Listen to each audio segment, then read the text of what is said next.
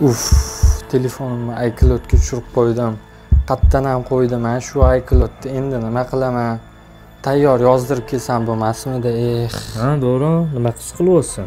telefonim iCloudga tushib qoldi. Paroling nechi? Logining? Eslolmayapman-da Tushirib qo'yib bo'libsan-ku. Nima qiluvding? Sbros beruvdim, tushib qoldi. Kodi ham esimda yo'q edi. Ha, xavotir olma.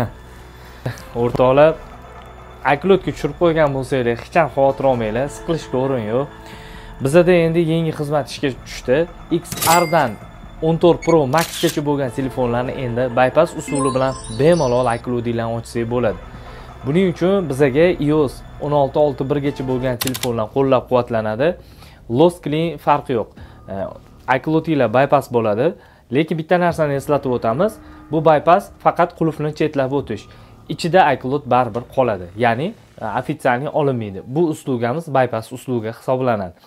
Demak, e, iOS 16.6.1 bo'lgan versiyalarni bemalol bypass usuli bilan endi iCloudda ochsak bo'ladi. Faqat bizdan 2 kundan 5 kungacha bo'lgan vaqt talab qilinadi. Kimga mana shu uslugalar kerak bo'ladigan bo'lsa, bizga murojaat qilinglar va sizlarni og'riqlarni yengil qilishga harakat qilamiz.